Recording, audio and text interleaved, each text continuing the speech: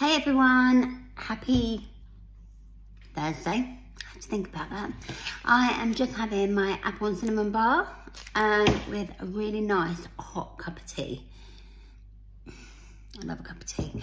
I've just done the airport run um, and taken Steve to Gatwick. He's gone now for a month. Um, and I've got 10 minutes before I have to be at school for parents evening, parents afternoon. Um, yeah, that's my day really. Um, I feel a bit sad that he's gone. Even though he's been doing this job for 15 years, it doesn't get any easier. Um, saying goodbye for a month is horrible. Um, and the boys are going to be upset tonight as well. So, um, I, my lovely, one of my lovely old slimmers, she's now at Target, Claire, um, messaged me, or she rang me actually, and said that there was um, a shop that sold Prime so I've got that ready for the boys when they come, come home. As soon as they get upset about Steve, I'm going to say, go and look in Mummy's office. There's a little surprise in there. They were only £2 each, much better than what I paid the other day. Um, and they were in a local Morrison's in Milton, if anyone local is looking for some. Um, and the lady kindly let me get four. Um, so I've got three for the boys and one for my nephew Elliot. Um, so yeah, hopefully that will cheer them up. And cheer myself up, um, I haven't got anything. I've got a bar and a cup of tea.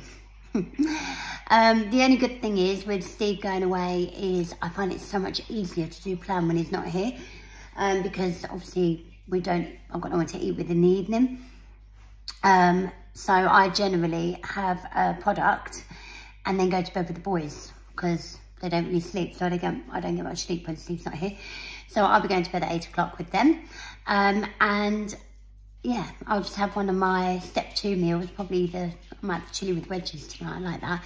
So I've got a month of doing solid 100% on plan, um, no drinking, no wine, and lose stone before he gets back, which would be really nice, especially as we're getting into spring now. The clocks go forward or back? Remember this weekend. Um, so the lighter nights are coming. And yeah, I want to feel good for summer. I want to wear some really nice dresses and, um, you know, nice outfits and feel comfortable and not hot and sweaty and uncomfortable. Um, like many summers I have done in the past.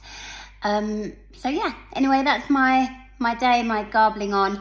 Hope you are all having a lovely Thursday. It's nearly the weekend. Um, thank goodness. So I hope you all have a lovely evening, guys. Catch you later.